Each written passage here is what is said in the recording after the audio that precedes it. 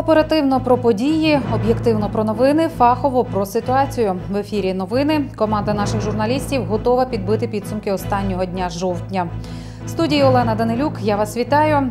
В сьогоднішньому випуску ми розкажемо таке. В Івано-Франківську відбувся круглий стіл на тему відкритості та підзвітності судів. Після років застою в Івано-Франківському мікрорайоні БАМ розпочався ремонт доріг та дворів. Реформа початкової освіти в Україні в експериментальному варіанті стартувала 1 вересня цього року. Серед чотирьох шкіл на Прикарпатті, де впроваджуються зміни, є і одна з Івано-Франківська. Педагоги кажуть, реформа виправдовує свої очікування, хоча і є певні труднощі. Більше про освітній експеримент Роман Стельмах.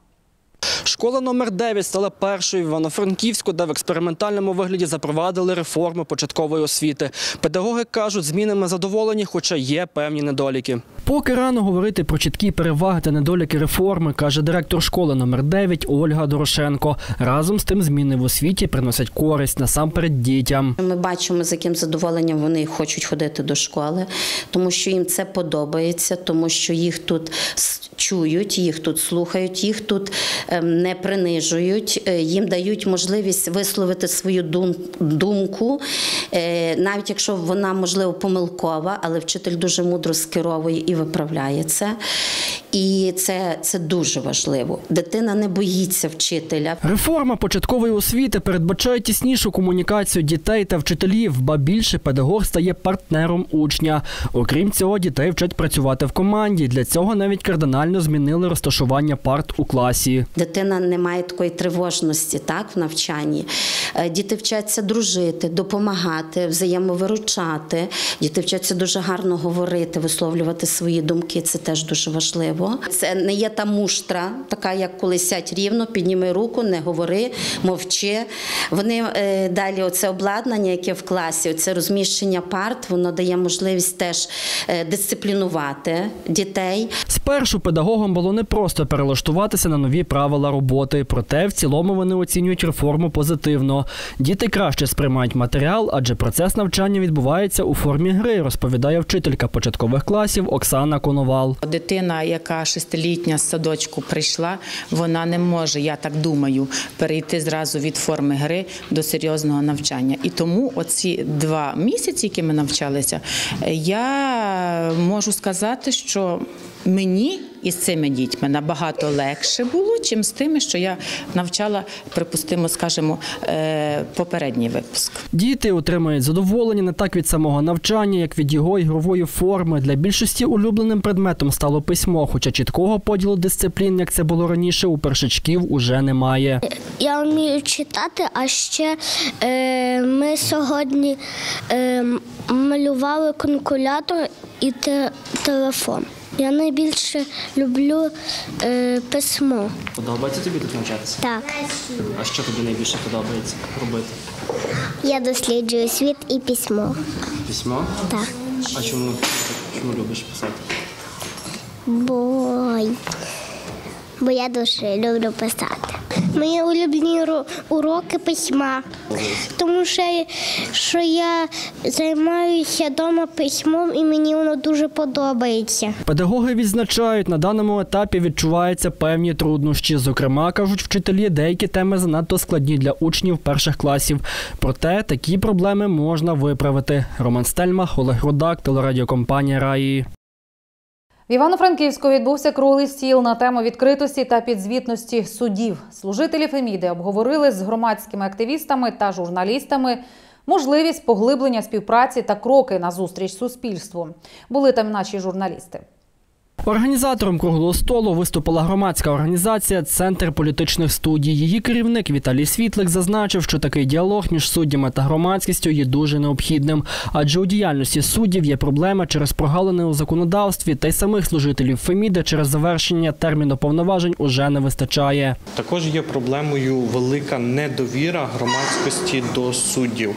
Основною з таких е, зустрічей з нашого проекту це є е, підняття довіри до судів і обговорення тих проблем, які у них є, оскільки ми розуміємо, що Кінцевою інстанцією це ніби є суд, який вже приймає рішення, але ще є багато факторів, які впливають на це рішення. Член громадської ради доброчесності Роман Ковбіда каже, головна мета круглого столу це обговорити в середовищі громадськості, суддів та журналістів, що кожен з нас може зробити, аби судова система стала справедливішою і відкритішою. Якщо подивитися взагалом, то на жаль, більшість людей, більше 60% взагалі не чули про що е, йдеться в рамках судової реформи, тобто які зміни відбуваються. І це е, недопрацювання з одного боку і влади, яка проводить ці зміни, і з іншого боку, недопрацювання журналістів. Суспільні цінності у сфері правосуддя та судочинства змінилися, проте суди не встигли реорганізуватися, каже суддя Андрій Малеєв. Між судами і суспільством утворився деякий комунікаційний вакуум, е, який необхідно заповнити. Вакуум довіри. Брак легітимності судів залежить від довіри до них. І тому ми тут для того, щоб налагодити обмін інформацією, взагалі провести комунікацію, визначити, які потреби є до нас, які є вимоги, і що ми можемо зробити для того, щоб ці вимоги по можливості задовільнити. Нагадаємо, на початку жовтня Верховна Рада ухвалила законопроект щодо судової реформи в Україні. Роман Стельмах, Олег Рудак, телерадіокомпанія Раї. Майбутні бізнесмени, робототехніки, лікарі чи хореографи. Вибирати фах за талантами треба з маличку. Саме з такою метою в Івано-Франківську продовжує працювати університет обдарованої дитини. Створений він при науковому парку Прикарпатського університету. А на осінніх канікулах для школярів міста в університетських аудиторіях проводять обдарований інтенсив. На дітей чекає кілька десятків майстер-класів від викладачів університету та навіть олімпійської чемпіонки. Подробиці дізнавалась Галина Гордашко.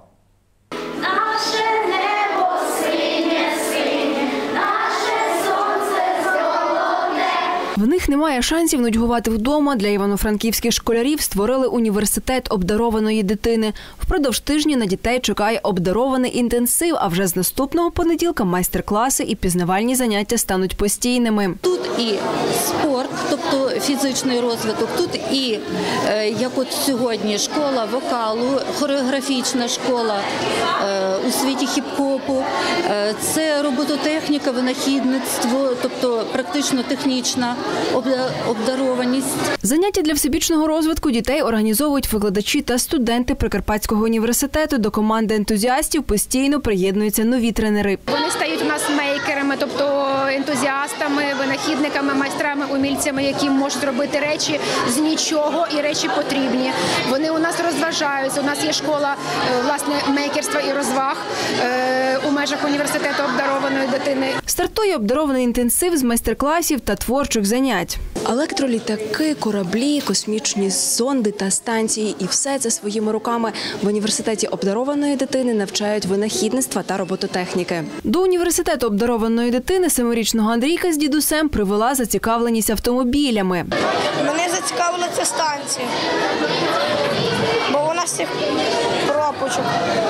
Не потрібно. Зробили стропки від умивальника, з пропок, з якоїсь панелі. Йому інтересно посмотреть, він взагалі техніку любить. Машинки колекціонує і займається машинками. Школярі, які сьогодні прийшли на відкриття, вже стали випускниками літнього табору університету обдарованої дитини. Очікують на цікаві та захоплюючі заняття. Для мене прийти сюди це е, таке щастя, тому що вдома у мене немає ніяких друзів і а по-друге, не інтересно. А сюди прийдеш, можна познайомитися з багатьма друзями і пізніше вже на протягом цих канікул з ними десь зустрічатися і ходити в різні табори. Тут є багато всяких не іграшок, а макетів. тобто транспортів, тих, які мене цікавлять. Пройдуть декілька років, і кожен з вас скаже про те, що я значно вище стою на голову від багатьох своїх ровесників, з якими я зустрічаюся, тому що я вчуся в університеті обдарованої дитини. Через тиждень до проекту можуть долучитися усі бажаючі. Десятки занять та майстер-класів у стінах Прикарпатського університету чекають як на дошкільнят, так і на школярів. Галина Гордашко, Олег Рудак. Новини телерадіокомпанія Раї. Після років застою в Івано-Франківському мікрорайоні БАМ розпочався ремонт доріг та дворів. На вулицях планують оновити освітлення та значно покращити благоустрій. Докладніше про це в сюжеті наших журналістів. Ремонтні роботи по вулиці Сухомлинського розпочалися на початку жовтня. Тут мають встановити близько 1200 квадратних метрів тротуарної плитки та асфальтобетонні проїзди. Швидкість роботи, кажуть комунальники, залежить від погодних умов. Зняли верхній шар старого асфальтобетонного покриття, влаштували де потрібно дорожнє корито. Е, Зараз будуть зараз розпланували. Каточок прокатає, будуть завозити нижній шар е, щебневу, е, нижній шар з щебеню. Прокатається, заміняємо, замінимо всі тротуари, не тротуари, а бордюрний камінь і приступимо до тротуарів. Депутат Івано-Франківської міської ради Сергій Абрам'як каже, мешканці вулиці Сухомлинського неодноразово зверталися з проханням відремонтувати двори та дороги. Тож тепер сподівається, що усі роботи встигнуть завершити ще до початку зими. На даний момент на моєму окрузі проводиться е, заміна дощової мережі каналізації. Повністю близько 3,5 мільйонів погодили через водоканал завдяки Руслану Романовичу, завдяки новому директору водоканалу. І зараз якраз робляться, але це більше такі роботи вони робляться в ну, мається на увазі всередині в е, мікрорайоні. Ну а цього року було зроблена велодоріжка величезна, така досить вона починається від е, кольця Мазепи е, Довженка, і він закінчується аж е, до кольця Довженка Чорновола. На заміну каналізації по вулиці Сухомлинського з міського бюджету виділили майже 3 мільйони гривень, каже міський голова Руслан Марцінків. Вулиці Сухомлинської як такої не було, тому робимо роботи. Також прийняли рішення оцей двір і скверик зробити. Тут ще заплановано і качельки нові, і лавочки. Е, В цій території також плануємо смітник перенести, але надіємося, що вулиця Сухомлинського хоча б в нижньому шарі цього року буде зроблена. Також неподалік вулиці Сухомлинського у мерії планує звести новий спортзал. Роман Стельмах, Олег Родак, телерадіокомпанія Раї. Днями в агенції місцевого економічного розвитку міста Бурштина відбулася презентація чергового проекту у рамках стратегії корпоративної соціальної відповідальності компанії ДТЕК. Цього разу мова йшла про проект реконструкції скверу та встановлення меморіалу героям у центрі міста. Цього року вперше місто Бурштин брало участь у конкурсі проєктів Великий грант. І дуже важливо, що саме проєкт з ушанування пам'яті героїв став переможцем конкурсу. Своєрідним експериментом в цьому році е, стала реалізація першого великого проєкту е, вартістю понад 200 тисяч гривень. Е, Там е, на розгляд було подано е, декілька різних цікавих проєктів, але переможцем виявився проєкт по створенню стели, присвяченої героям загиблих, загиблим за незалежність України. Стела буде присвячена і Небесній Сотні, і героям полеглим в АТО. Ідея створення такого меморіалу вперше виникла ще навесні 2014 року. І лише сьогодні, завдяки підтримки ДТЕК Бурштинської ТЕС, реалізація проекту стала можливою. Втілюватимуть задуму життя відомі львівські митці. Хочеться, щоб цей е, проект він справді був такою новою хвилею, не е, новим подихом, і щоб це була світла пам'ять. Ідея меморіалу така, е, щоб він ну, виховував, я не знаю, майбутнє покоління ну, в такому в руслі, ну, як Юля сказала, світла. Він повинен нести надію, не тільки біль втрат, але й надію. Проект цей комплексний. Його реалізація проходитиме у кілька етапів. Зараз ми реалізовуємо першу частину проекту. Сюди входить розробка проектно-кошторисної документації на стелу і на сквер. Е, Сьогодні робоча група розглядала подані проектно-кошторисні документи. Е, Були зроблені деякі зауваження, які будуть усунуті на протязі наступного тижня. Разом зі стелею наступним етапом мало би стати створення е, скверу героїв України. Це ну, бі- біля міської ради. І думаю, що реалізація е, цього напрямку вже спільно з міською владою, е, спільно з громадою е, буде в наступному році. Тобто сьогодні ми робимо перший крок, робимо стелу, а далі вже ініціатива за містом і за громадою міста реалізувати власне і створити навколо цієї стели належний гарний сквер. Ну, скоріше за все, що це ініціатива наступного року. У ритмах вальсу та коломийки закружляє Галицький бал. На танцювальне дійство івано-франківці очікують уже за два тижні. Відбудеться Галицький бал в музично-драматичному театрі. Організатори свята, а це Прикарпатський національний університет, наголошують бал студентський. Однак запрошують усіх любителів вишуканого відпочинку і нагадують, дрес-код обов'язковий. Для дам довга сукня, кавалери одягають темний костюм і метелики.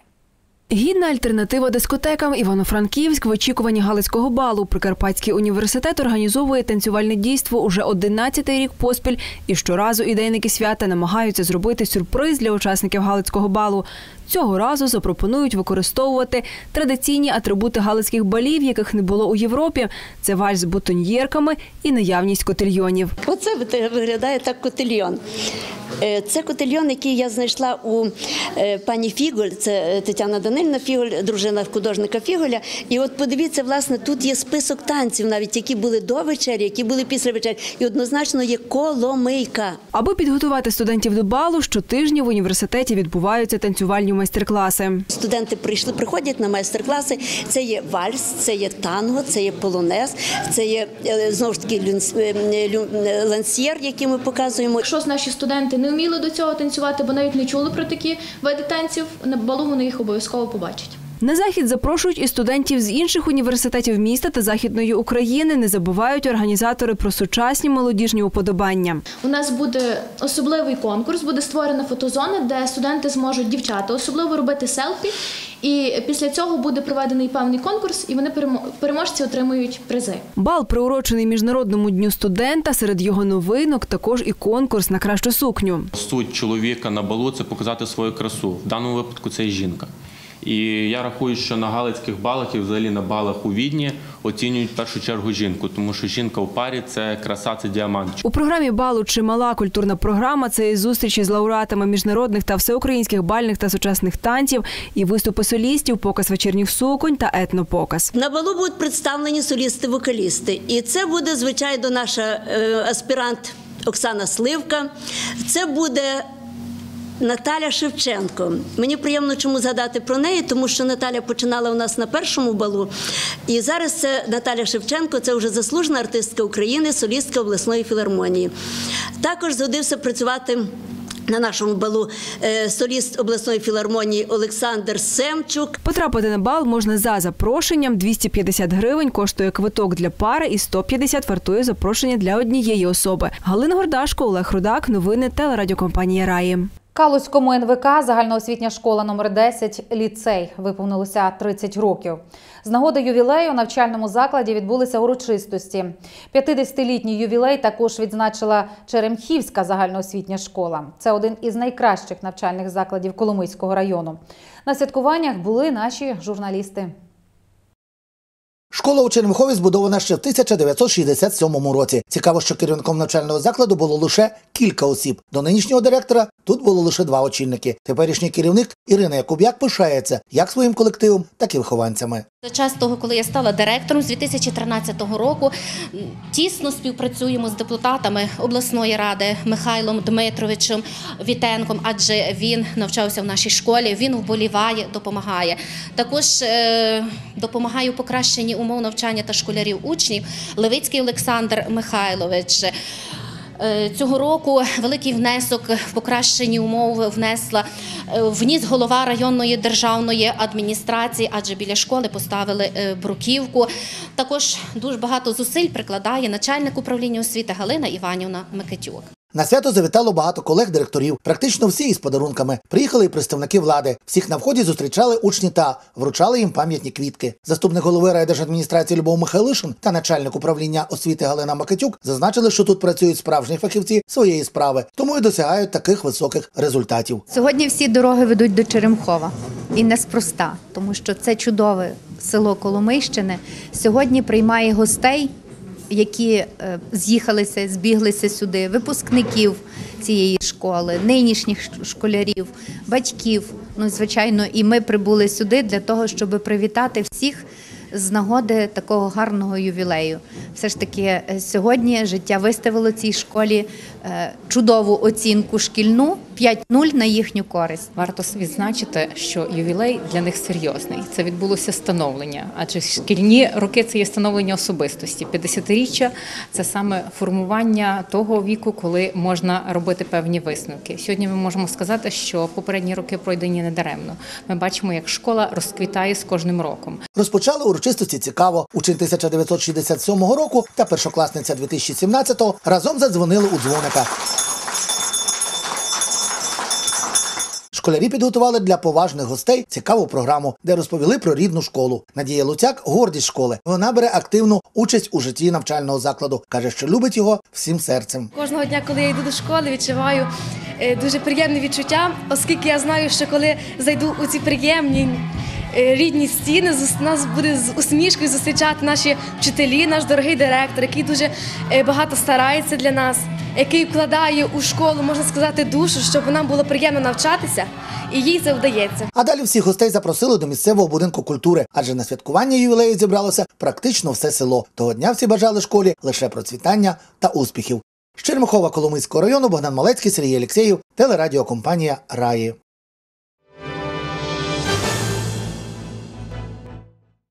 Далекого 1987 року гостинно відчинила свої двері Калузька середня школа номер 10. За цих 30 років школа перетворилася у навчально-виховний комплекс номер 10 ліцей. Десята школа ліцей найбільша та найдружніша шкільна родина в місті Калуші. Це вчителі, які навчали і навчають. Це учні, які вчаться зараз, і випускники, які навчалися. Це батьки, які колись навчались тут, а зараз приводять своїх дітей. І так за днями дні, за роками роки, за десятиріччями десятиріччя. Ця школа мала розвантажити школу сьому і третю, оскільки там навчалось дуже багато дітей. На той момент Калуш був багаточисельним містом. І тому збудували школу, перевели сюди дітей, сформували молодий колектив педагогів. І вони розпочали встановлювати імідж закладу, навчати дітей, виховувати їх. Минули роки. Е, Заклад утвердився в місті як профільна школа з поглибленим вивченням хімії, біології, математики. Тож не дивно, що на 30-річний ювілей Калузького ліцею завітали представники влади, управління освіти, колишні і теперішні педагоги, випускники. Загалом глядацька зала навчального закладу заледве вмістила всіх гостей. Божого благословіння та опіки Діви Марії присутні побажав колишній випускник, священик собору святих землі Української Української православної церкви Київського патріархату отець Микола Мороз. Ідучи по своїй рідній школі, можна побачити, як вона змінилася. Змінилася тому, що час заставляє міняти, мінятися всьому, і навіть цьому храму, храму знань. Але не змінилося одне. Та стежина, яка веде до цієї школи, не змінилися ті, які прагнуть навчити доброті, розуму, З нагоди ювілею велику шкільну родину привітали міський голова Калуша Ігор Матвійчук та його заступник Любов Максимович. Ваша школа є одною з найкращих в нашому місті, і це завдяки тому, що в стінах цієї школи питає власний дух і власні традиції. Я переконаний в тому, що в вашій школі є високий потенціал і вам снаги зайняти очільні і провідні місця не тільки в обласних, а й в державних конкурсах і рейтингах. Хочеться подякувати усім вам за те, що ви творили історію освіти нашого міста. Що сьогодні навчальний заклад, школа ліцей є візитівкою нашої, нашої освіти в нашому місті.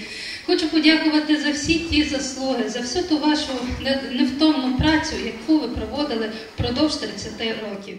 Ряд учителів отримали подяки міського голови та грошові премії. А перший директор навчального закладу Володимир Олійник золотий значок Калуш. Не бракувало цього дня нагород і від начальника управління освіти Ірини Люклян та голови міської організації профспілки працівників освіти України Олега Андрусєва. Надзвичайно приємно, що НВК номер 10 є по праву гордістю Калузької освіти. І не тільки тому, що це найбільш чисельний заклад у місті. Ні. Дійсно, це заклад, який може гордитися і інтелектуальними здобутками з Олімпіад, з конкурсу Малої академії наук, з різних інших інтелектуальних конкурсів. Своїми спогадами поділився перший директор 10-ї школи Володимир Олійник. Педагоги мого покоління це люди, яким зараз під 70, то я також прийшов в школу, мені було 39 і вже незабаром 70, щоб ем, їхня праця марно не прийшла. Все ж таки частка праці є. І щоб школа розвивалася як комплекс і переходила, повністю відділялася в окремий ліцей. Бо оцей комплекс він трошки затруднює. Я сам працюю в 9 класах і є загальноосвітні класи, а є проліцейні майбутні зовсім різні речі. Цікаву святкову програму подарували присутнім учні Калузького ліцею та вихованці Палацу культури Мінерал. Світлана Якименко, Руслана Осієнко. Новини телерадіокомпанія Раї. Закінчився футбольний сезон на Коломийщині. У чемпіонаті та першості брали участь понад два десятки команд. Церемонію нагородження чемпіонів та призерів провели у Матеївцях. Для футболістів приготували не лише грамоти та медалі, але й святковий концерт та частування. Як закінчився футбольний сезон на Коломийщині, знає Богдан Малецький. Інтрига у чемпіонаті Коломийського району трималася до передостаннього туру. В ньому ж стало відомо, що достроково титул вибороли матеївцівські футболісти. Їхній тренер Михайло Сапович, не дивлячись на вік, і зараз сам із задоволенням виходить на поле та допомагає своїм підопічним. А капітан команди Іван Волошенюк подякував колегам за розуміння та результат. Команда наша дуже здорово грає, бо є колектив, а якщо є колектив, то є команда. Е, Деколи я їм допомагаю, ну, досвід. У нас колектив згуртований, дуже мали бажання. Так як я перший був капітаном, хотів перше стати чемпіоном іменно району, бо я в області чемпіоном, району ще не був. І, звичайно ж, не могли не привітати футболістів перші особи району та області. На свято приїхав голова Коломийської районної державної адміністрації Любомир Глушков та депутат обласної ради, футбольний функціонер Дмитро Лащук. Обидва не лише дякували футболістам, але й висловили бажання надалі допомагати спорту номер один. Дуже приємно, що сьогодні відбувається такий захід, тому що ми маємо можливість шанувати наших футболістів.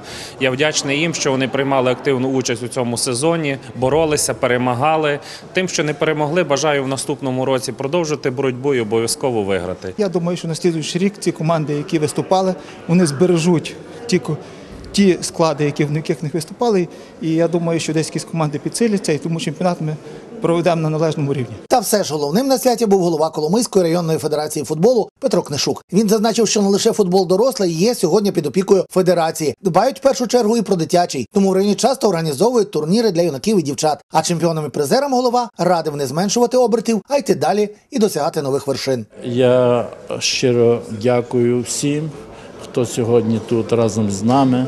Ми підбиваємо підсумки футбольного сезону. Футбол на Коломийщині люблять, футбол грають, футбол шанують. Тому я сьогодні хотів би щиро подякувати в першу чергу нашим футболістам. Я хотів би щиро подякувати нашим болівальникам. Я хотів би подякувати нашим суддям, тренерам і тим людям, які небайдужі до долі футболу. Петро Книшук не лише нагороджував чемпіонів, але й сам брав активну участь у концерті для футболістів. Він разом із оркестром дарував їм українські пісні. Опісля чого на всіх чекало гостинне частування. З Матеївців Коломийського району Богдан Малецький, Сергій Алєксєєв, телерадіокомпанія Раї. Це були новини Прикарпаття. Далі підіб'ємо підсумки подій, що відбувались в інших населених пунктах України. А зараз коротка рекламна пауза. Дочекайтесь.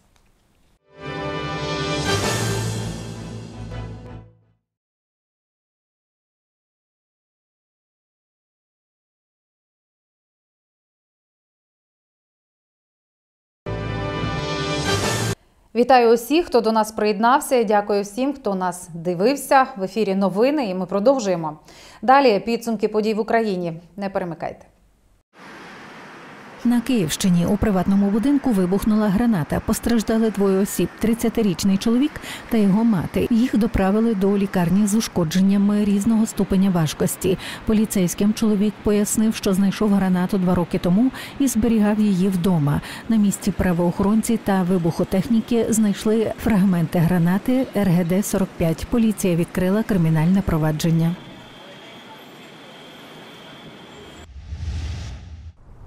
Напад на виборчу дільницю на Дніпропетровщині стався вранці. У селищі Майському більше 20 молодиків увірвалися в приміщення, де намагалися пошкодити урни та виборчі бюлетені. Втім, їх план провалився. Правоохоронці зберегли усі документи. Нападники ж кинули димову шашку і втекли на вулицю. В області одразу оголосили план перехоплення. Зрештою, поліцейським вдалося затримати усіх порушників. Вони чинили опір, і в підсумку троє правоохоронців отримали травми. Разом з тим вибори на дільниці відбулись. Наразі триває підрахунок голосів.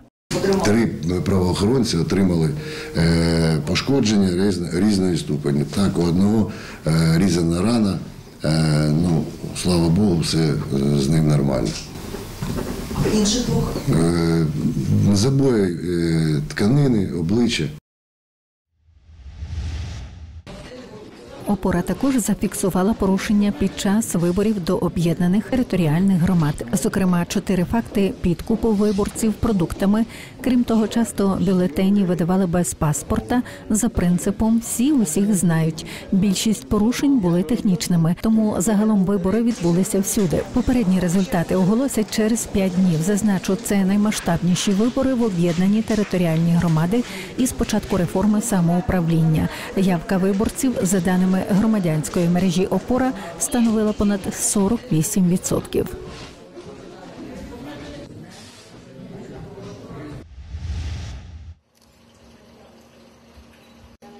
Виробництво та продаж спирту вагома стаття доходів до держбюджету. Саме тому чимало країн встановили за собою монополію на його виробництво. Проте в Україні усе навпаки. Виробництво необлікованого спирту наймасштабніше зі схем, які діють в Україні. Спиртзаводи чи не половину своєї продукції не вказують у офіційних документах. Спирт цистернами вивозять із заводів у невідомому напрямку. За останні 10 років офіційні обсяги виробництва спирту упали утричі, тоді як частка тіньового ринку за цей період виросла із 7% до 50%. долю э, государственного спирта, который уходит в тень, э, на уровне 40%. А с учетом того, что добавляются еще другие поставщики нелегальных э, алкогольных напитков, э, доля алкоголя в прошлом году нелегального э, уже составила более 60%. Придбати нелегальну горілку сьогодні на ринку можливо за 20-40 гривень за літр. Хоча за вказівкою Кабміну законна півлітрова пляшка не може бути дешевшою ніж 79 гривень 50 копійок. И, естественно, такое, такие огромные прибыли, они не могут не привлекать э, тех людей, кто не чист на руку и кто хочет на этом серьезно заработать. Вакханалія на ринку спирту розпочалась у 2010 році, коли Укрспирт піджали під себе регіонали Юрій Ванющенко та Іван Аврамов. Досі звинувачують у махінаціях навколо Укрспирту екс-міністра МВС Віталія Захарченка та Олексія Чеботарьова, які керували діяльністю тітушек. Проте після зміни влади у 2014 році ситуація з нелегальним спиртом лише погіршилася. Потоки нелегальних прибутків, які генерує Укрспирт, змінили росло у бік нової політичної сили. Ось львівський бізнесмен та основний інвестор партії Свобода Ігор Кривецький. Центр розслідувань 24 каналу вийшов на його слід. Хоча сам Кривецький заперечує свої інтереси у спортовій галузі.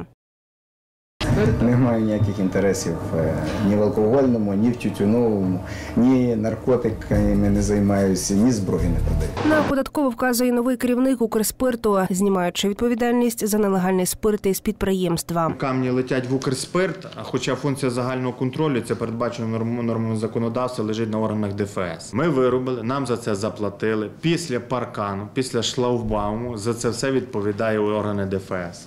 Транспортування до кордону, митне оформлення, відвантаження, забезпечення супроводу це все є функції Державної фіскальної служби. Ні системного бухгалтерського обліку, ні обліку виробленої продукції на Укрспирті досі немає. Проте Юрій Лучечко запевняє, усе запустять наступного року. І гроші для цього уже знайшли. Тож, якщо пощастить, ми дізнаємося, скільки насправді в Україні виробляють спирту ще до того, як державна монополія збанкрутує. Адже, попри мільярдні збитки, питання приватизації Укрспирту знову намагаються затягнути. Не хоче поспішати із цим і Юрій Лучечко.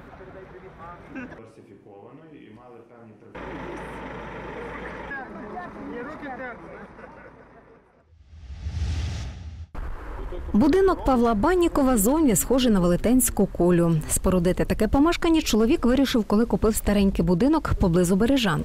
Головний аргумент на користь хати кулі дешевше будівництво. Я порахував, скільки буде коштувати ремонт цього.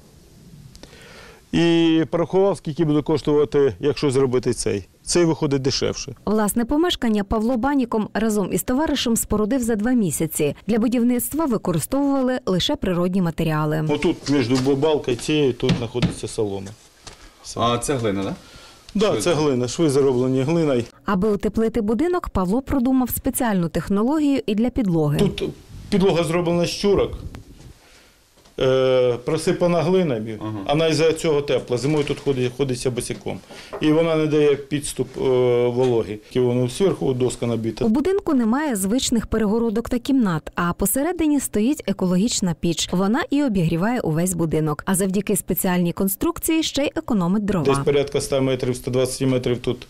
Е, рахуйте, площа така, знаєте, активна. І е, треба обігріти. Якщо сусід або людина звичайно такі хати, як стоїть в мене, це використовує порядка двох-трьох машин дров, то я використовую неповну одну. Сферична форма помешкання, запевняє господар, дозволяє зберігати тепло. Це підтверджують і спеціалісти. Ця форма забезпечує просто при ну, малій товщині стіни. Е, певну аеродинаміку, тобто коли вітер дує, то він обдуває, а коли є кут, то йде великі втрати на кутах.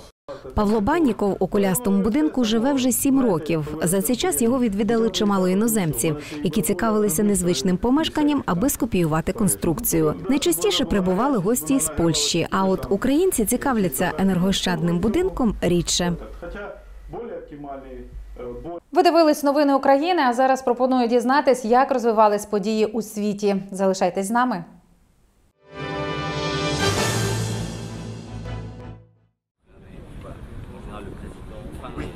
У Франції на зміну режиму від надзвичайного стану прийде антитерористичний закон. Президент Еммануель Макрон підписав документ у понеділок. До цього його схвалив парламент країни.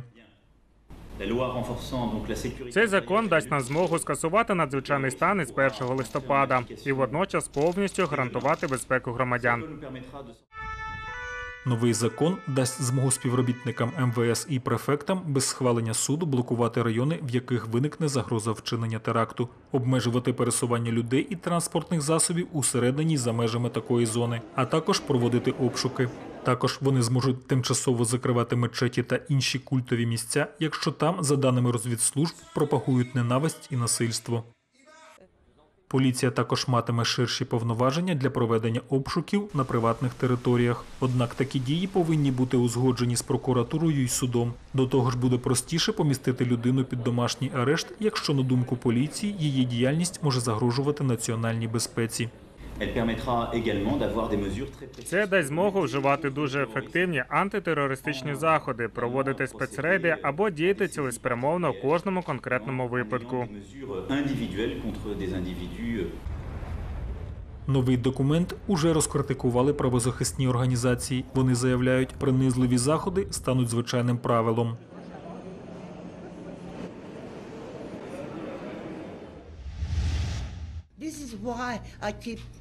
Сецуко Терлоу, яка вижила під час ядерного бомбардування Хіросіми, буде серед тих, хто отримає Нобелівську премію миру від імені міжнародної кампанії із заборони ядерної зброї. Вона одна з головних активістів організації. Зараз Терлоу громадянка Канади. На прес-конференції в Торонто вона закликала прем'єр-міністра Джастіна Трюдо ініціювати процес відмови від ядерної зброї. Він як людина, як батько і як лідер країни мусить людяно відреагувати. Це буде початком, буде основою інтелектуальної стратегії чи дипломатичних планів.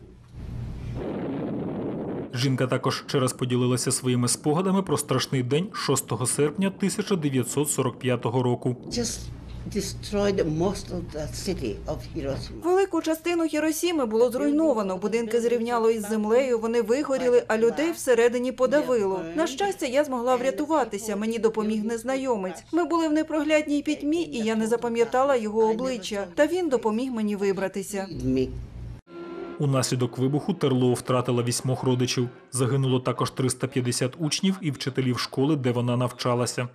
10 грудня жінка вирушить до Осло. Там вона отримає Нобелівську премію миру разом із директором міжнародної кампанії із заборони ядерної зброї Беатріс Фін.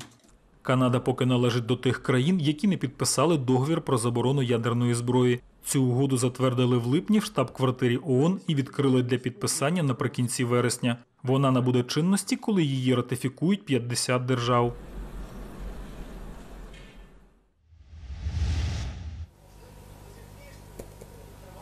Мрія португальця Андрія Халіпа знову ходити. Понад 20 років тому він втратив таку можливість, і тепер його життя минає в інвалідному візку. Дуже невдала пригода на грецькому острові. Я орендував мотоцикл, припаркував його на скелястому обриві і пішов купатися. Повернувшись, я сів на мотоцикл і став його заводити, але він зісковзнув униз і потягнув мене за собою. Я впав із висоти приблизно 5 метрів на скелястий берег. Я не міг підвестися і не відчував ніг. Халі працює журналістом. За 20 років пережив чимало від депресії до збільшення і втрати ваги. Але головною його метою було знайти спосіб знову стати на ноги. Він пробував різні пристосування для ходьби, зокрема пристрої, які не дають колінам згинатися. Але інвалідний візок виявився найпрактичнішим. Упевнений, що є багато хороших і перспективних досліджень, але фактично я не бачив нікого, хто б устав з інвалідного візка після ін'єкції стовбурових клітин чи імплантації чипа. Але все ж пошуки він не покинув. Мрія занесла його до Каліфорнії. Там він узяв участь у тестуванні екзоскелета із силовим приводом. Його розробила компанія Фонікс у Каліфорнійському університеті. Обіцяють, що він буде найлегшим і найдоступнішим на ринку. Думав, що коли вперше встану, то це буде захоплювати емоційна мить, але це було більше страшно. Більшість із екзоскелетів має два силові приводи на стегні і коліні. Однак тут він є тільки на стегнових суглобах.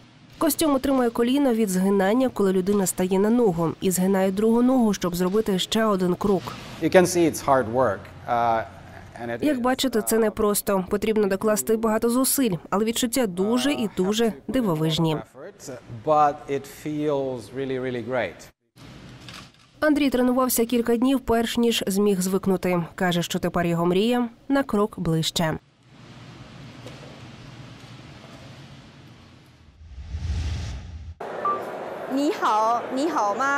Від перекладача мови і приладу контролю за диханням до електронної миски для тварини подушки, що дихає. У Амстердамі презентували новітні технологічні розробки у межах CES – міжнародної виставки споживчої електроніки. Цей кишеньковий перекладач знає 80 мов і може працювати не тільки через Wi-Fi, а й автономно. Розробники кажуть, що він використовує різні платформи, зокрема Google перекладач, а також технологію штучного інтелекту. Відмінна річ для мандрівників. Вони зможуть піти куди завгодно і поговорити з ким завгодно. Але його також можуть використовувати професіонали. Багато лікарень вже зв'язуються з нами і кажуть, що для них це чудове рішення, оскільки їхні пацієнти з різних країн. А це розробка бельгійської компанії. Вона стане у пригоді тим, хто втомився від напівфабрикатів та фастфуду.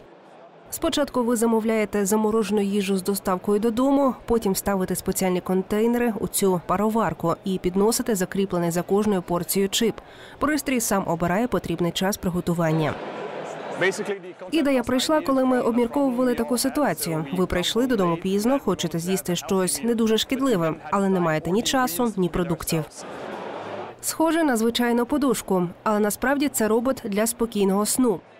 Нідерландська Somnox оснастила його функцію дихання. Подушка також може програвати звук стукання серця або спокійну музику. А це розробка британської компанії SurePetCare. Це ціла система, яку приєднано до мережі. Наприклад, миска відкриває доступ тільки авторизованій тварині із відповідним датчиком на нашийнику. Можна побачити, що робить тварина, коли ви на роботі. Ви знаєте, коли ваш улюбленець виходить із дому або заходить усередину. Експерти кажуть, що так звана сфера інтернету речей найближчими роками стрімко зростатиме. За прогнозами, до 2020 року у світі буде понад 20 мільярдів приладів, приєднаних до мережі інтернет.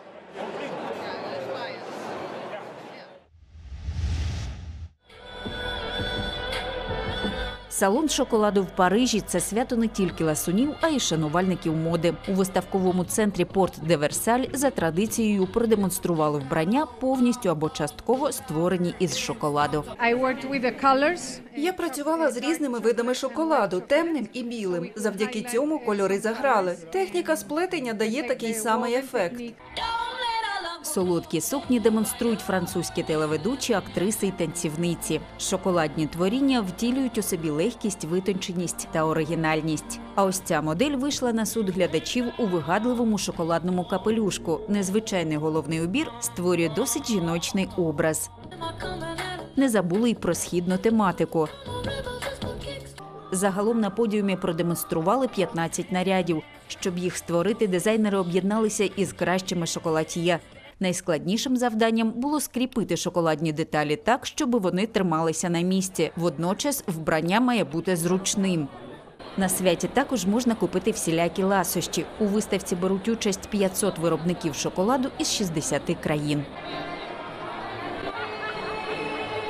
З надією на хороші новини я прощаюся з вами до наступної зустрічі в ефірі. І нагадую, що, попри регулярні випуски новин, ви можете постійно отримувати оперативну інформацію про головні події в області, Україні та світі на нашому сайті. До зустрічі в ефірі і бережіть себе.